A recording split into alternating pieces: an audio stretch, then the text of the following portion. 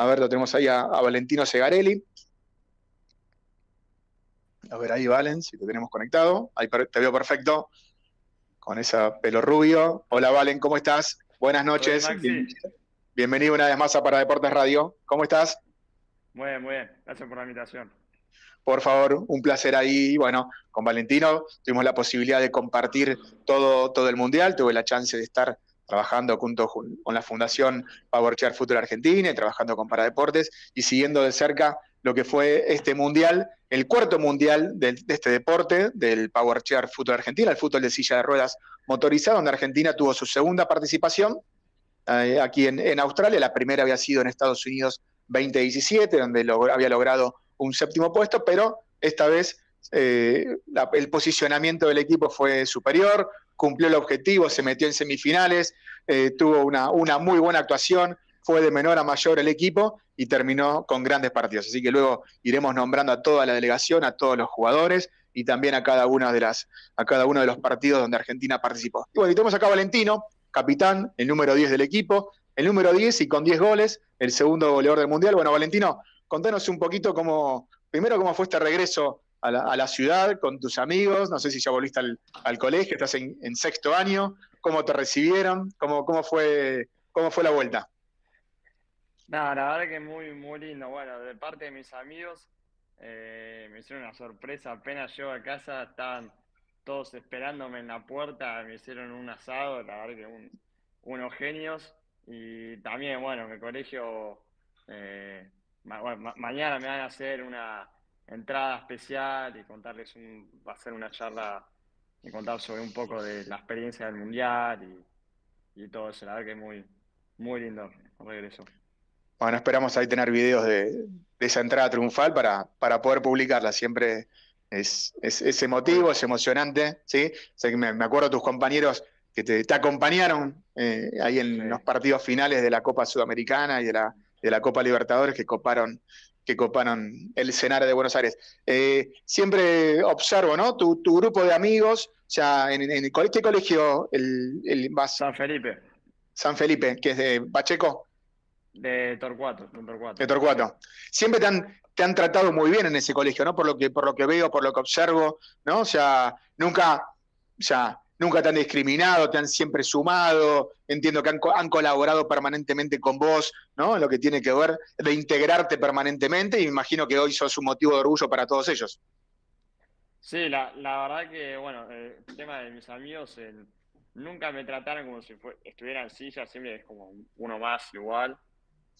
eso tuve, nunca tuve un problema y sí, siempre nos juntamos, o sea, eh, y sí, siempre me dicen que están orgullosos de, lo que estoy así representando a la selección, no lo pueden creer. Siempre ven todos los partidos, es más, los horarios de los partidos eran bastante difíciles de ver, porque era muy tarde y igual se juntaban a hacer un, asado y mirar todos juntos el partido. De verdad que eso son unos genios. ¿Sentiste el apoyo de, tu gente desde Buenos Aires? Sí, siempre, siempre me, siempre me apoyan. Bueno, ¿y vos cómo viviste el Mundial? Le decimos a la gente que hubo un Mundial donde participaron 10 equipos, fue un todos contra todos, o sea, nueve partidos en la primera ronda, los primeros cuatro se clasificaban para la, semifinal y ese era un poco el objetivo de Argentina.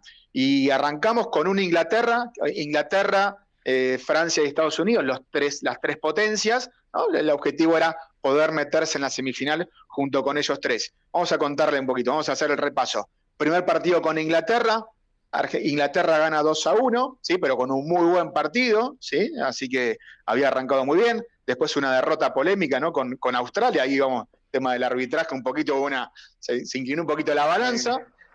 ahí hubo un poquito de sobrepeso.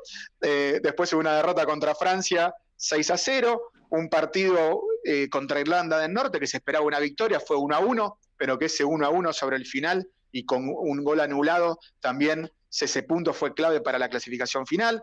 Dinamarca, 4-1, ahí hiciste cuatro goles, fue el mejor partido de Argentina. Después victoria 1-0 contra Japón, 1-0 contra Uruguay, 2-0 contra Irlanda y el empate final nada menos contra Estados Unidos que dio la clasificación. Y en semifinales, fue derrota contra Francia, finalmente campeón del mundo, solamente por 2 a 0, un muy, buen partido, y luego derrota con Estados Unidos, habiendo estado empatado, fue 2 a 1. Así que eso es un poquito la cronología y los resultados duros de lo que fue el torneo. Bueno, ¿qué análisis haces, Valentino, del torneo y la participación argentina? La verdad que estoy muy, estoy, pues, lo digo por el nombre de, todo el equipo, estamos muy contentos con el resultado. Eh, es más, era nuestro objetivo llegar a, cuarto, llegar a semifinal y lo pudimos cumplir y, bueno, como, como dijiste recién, la verdad que eh, fue muy importante cómo empezamos el torneo, perdiendo los primeros partidos y después pudimos levantar cabeza y empezar a ganar los demás y la verdad que fue muy, muy emotivo y muy, muy lindo, la verdad. Estamos muy contentos porque de los primeros 12 puntos solamente se había conseguido uno. ¿Tuviste temor en algún momento, es decir, en la tercera fecha nos quedamos afuera del objetivo? No, no. Eh, nunca tuve miedo más. Siempre confié que íbamos a llegar a, a semifinal. Está difícil, pero sabía que se podía. Eh, Ever López, Arturo Rodríguez, Lisandro Uretti, Agustín Zanoli, Juan Bautista D'Angelo, Calem Mansur Matías Viñola y vos. Ese es, el equipo, la delegación, los ocho jugadores, junto con Sebastián Ticera, el entrenador, Francisco Rey, un asistente y también el mecánico que la rompió toda Pancho, y Batiste Barrier, Batu, también el, asistente técnico. Ese fue toda la, delegación, jugadores y cuerpo técnico que estuvieron ahí permanentemente. ¿Qué, hablaban en, en, la previa, si en esas charlas que tenían entre ustedes? Eh, antes del torneo, durante el torneo. Eh, se notó un grupo muy unido, vos siempre destacás la unidad del, grupo, que decís, eh, lo mejor que tiene este equipo es, esta, es la unidad. Bueno, vos como, como capitán, con la experiencia que tenés de haber participado en un segundo torneo, bueno, ¿cómo, cómo sentiste esa unidad del, grupo? No, la verdad que fue increíble. Algo que, como decís, siempre le digo, es lo mejor que tenemos. Es más, bueno, yo este es mi segundo mundial que jugué y la verdad que se nota la diferencia con el mundial pasado. tenemos un grupo mucho mejor que, por ejemplo, bueno, en los vestuarios nos daban la charla técnica de cómo íbamos a formar para jugar y después, bueno, charla motivacional, que estos partidos había que ganar sí o sí para, para llegar a clasificar. Y bueno, y después de los partidos siempre estábamos juntos, íbamos a comer juntos, o después, después de comer, eh, estamos ahí charlando juntos. Eh, no, no siempre era sobre Power, sino sobre eh, otras cosas, como que siempre era lo importante estar todo el tiempo juntos y pasando de la mejor manera y se, notó. ¿Cuál fue el, momento que más disfrutaste? ¿Algún partido en particular? de tus 10 goles, ¿Hubo alguno que, recuerdes así especialmente? Que seas, este fue el gol. Eh, Hubo uno muy maradoniano. Sí, eh, gol contra Japón, fue muy lindo. Eh, sí, sí, sí. Aparte fue un partido importante que era ganarlo sí o sí para no depender de los resultados de los demás. Y que fue lindo, fue, fue muy lindo gol. Y el, contémosle un poquito a la gente cómo es el power ya. Se juega, vamos a decir a la gente, que es el fútbol en silla de ruedas motorizada, donde los deportistas en su vida cotidiana transitan y, en una silla de rueda motorizada y pasan a una especial, que es como un, cochecito no de, carrera, pero que se maneja con, con el joystick. Algunos jugadores tienen, como en tu caso, tienen AME, atrofia muscular espinal, otros tienen alguna lesión medular, otros pueden llegar a tener alguna amputación, y, pero todos tienen que jugar en una silla de rueda motorizada que no puede superar los 10 kilómetros por hora. Una silla de rueda que previo al partido se controla, es como el control antidoping de la silla, que no, si alguno se pasa de los 10 kilómetros, queda, queda fuera.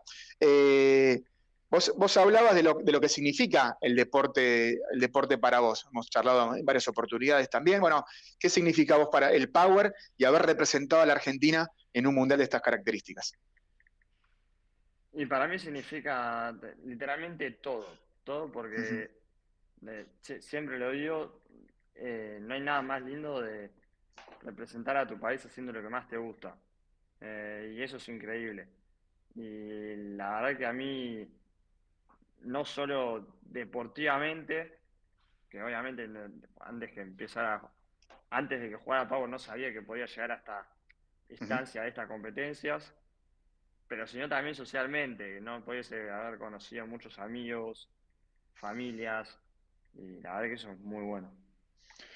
Esto que decías, ¿no? la, reunión y la unión entre los jugadores, que no solamente hablaban del Mundial, ¿no? sino que hablaban de, otros temas, o sea, entre, entre pares, conociendo también, bueno, la situación de cada uno, poder tocar, imagino, distintas temáticas con, más confianza, ¿no? Con, más seguridad. Sí, sí, sí, re, re.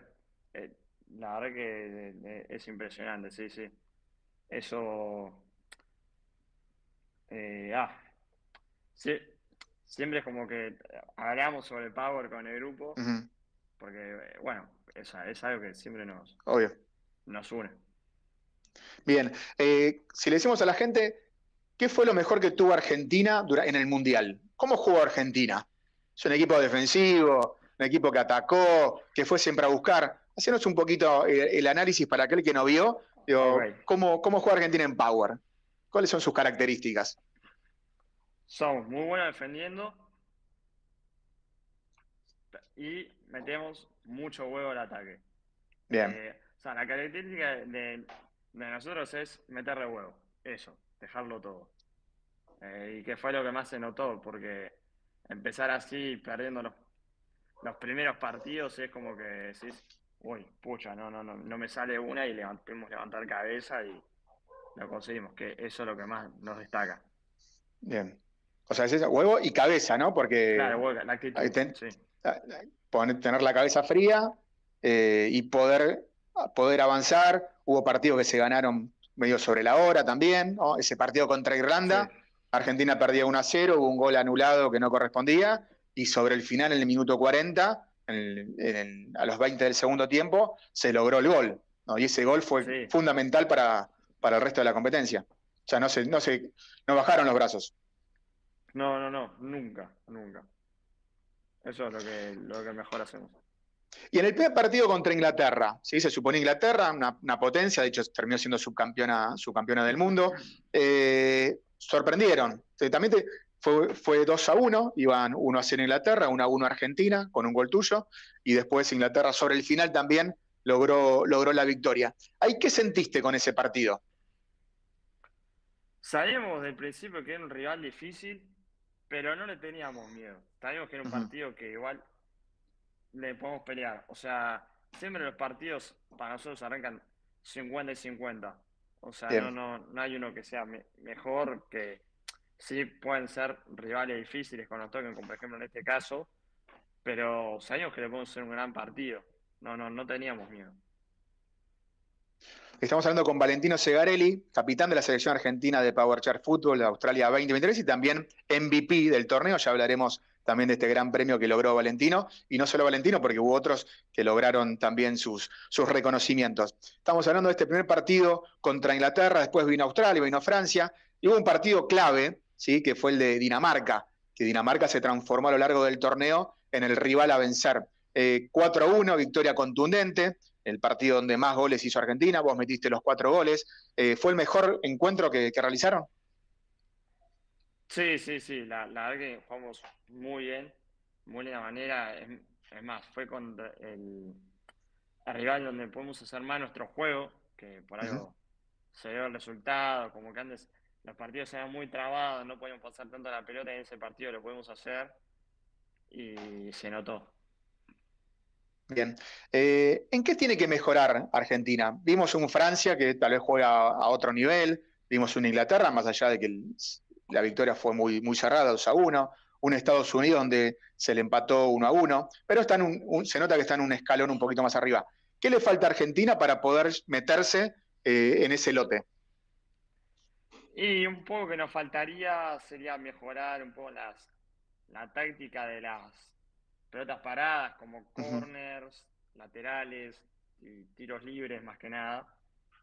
Eh, un poco más en la precisión que como que las jugadas las tenemos bien, pero por ahí no hicimos, no fuimos muy precisos con pegarle bien a la pelota y por eso no sea, no podemos meter muchos goles. Poder capitalizar más esos, esos momentos que son muy importantes en el Power. Claro. Y, es, es más difícil mejor la pelota parada o aprender a tener control de pelota con la silla. uno dice, bueno, tal vez pelota parada es más sencillo aprenderlo que tener un dominio como tenés vos o como tiene Ever, Ever López, de, la silla y la pelota que parece que la tienen atada.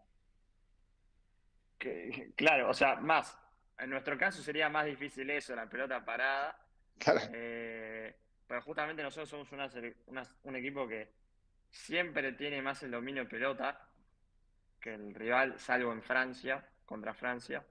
Pero después siempre fuimos el equipo que más tenía dominio de pelota. Siempre llevamos al área de ellos y nos contaba la definición porque no hacemos bien esa precisión en las pelotas paradas.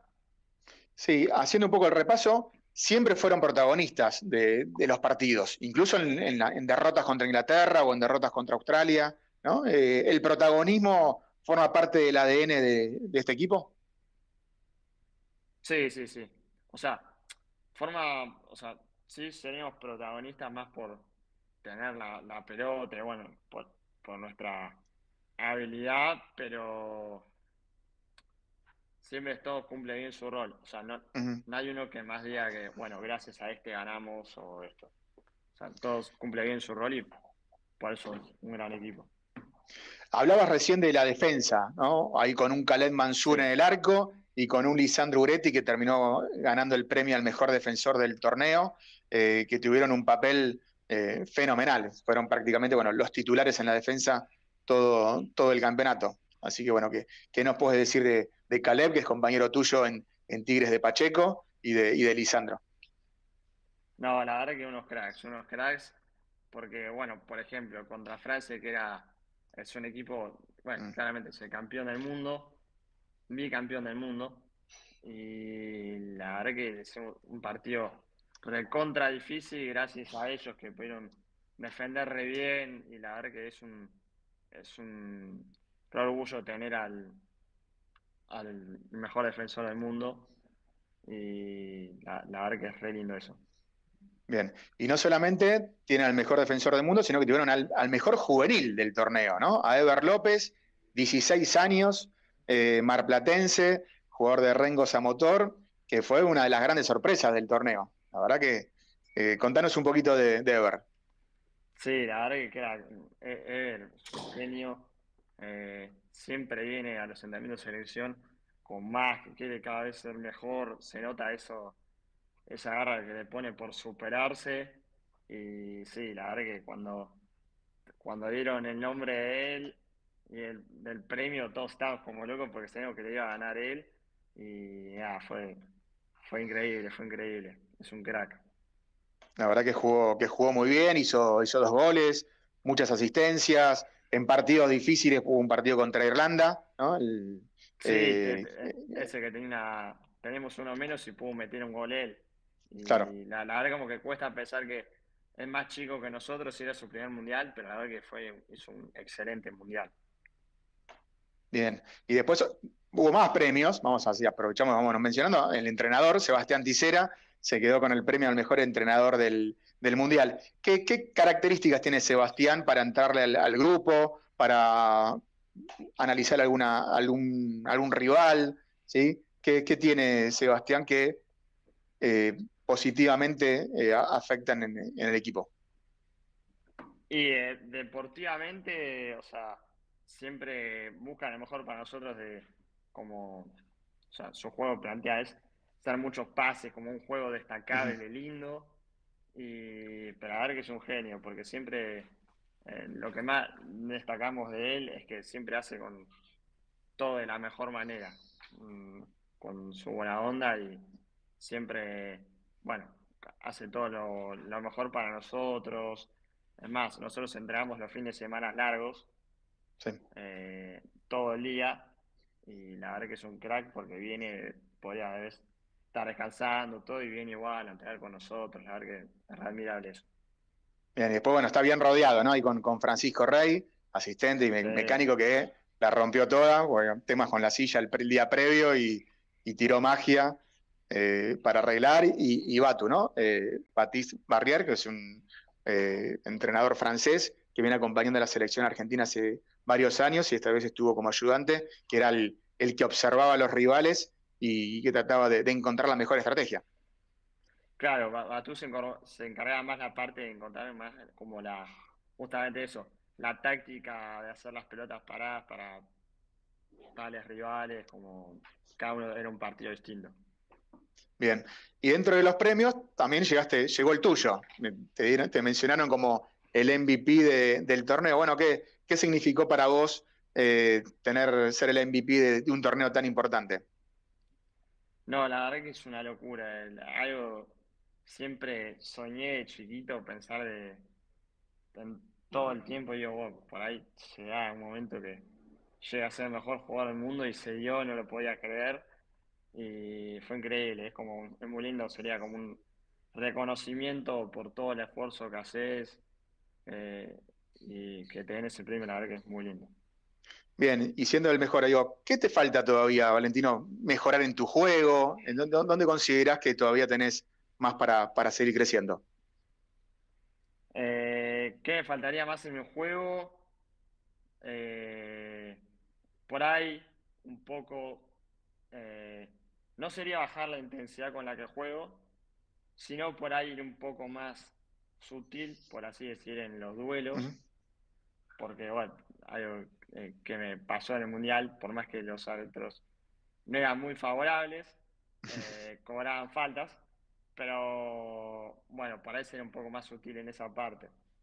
Y mm, también, bueno, obviamente en estos años que siguen puedo seguir mejorando un montón de cosas, pero eh, sería eso.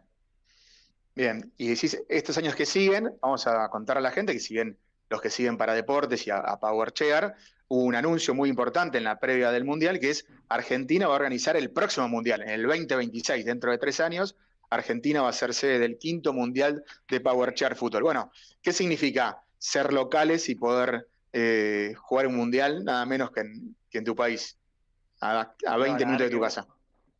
Una locura, una locura eso de cuando nos dieron la noticia, la fundación que lo podía organizar para el 2026, es hermoso, hermoso. Aparte no hay nada más lindo que después lo puedan ver tus amigos, gente que vos conocés que lo pueda ir a ver acá, es lo más lindo que hay. Y bueno, nuestro objetivo, nuestro objetivo es ahí, ahí sí ser, llegar a finales. Bien, te imaginas una cancha llena, ¿no? Ya solo con tus compañeros del colegio, bueno, en ese momento van a ser de la facultad. Este, vas, a, vas, a, copar ahí la cancha que sea. Sí, obvio, que, que vengan los, los que más puedan, los más que puedan, que se llenen.